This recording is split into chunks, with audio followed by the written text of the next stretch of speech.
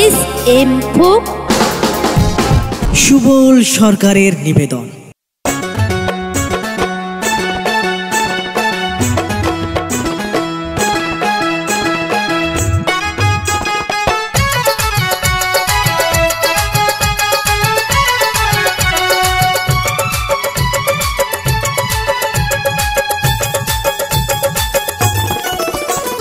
যাবি কে